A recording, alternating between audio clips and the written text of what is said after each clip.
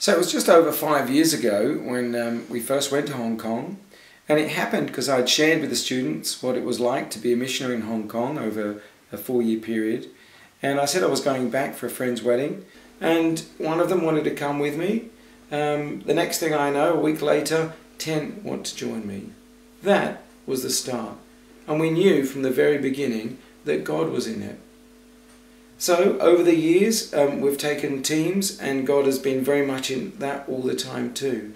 This year, he's, he's got together a team of 10. We're really excited by those people, and we're looking forward to serving Him and His purposes in Asia.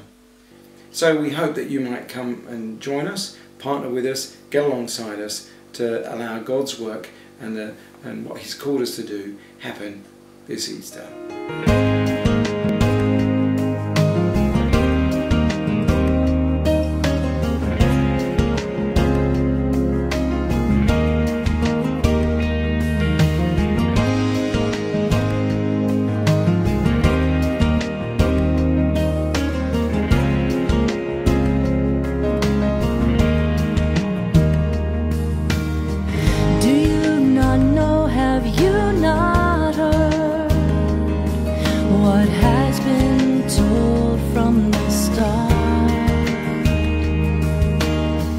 The Almighty God is everlasting.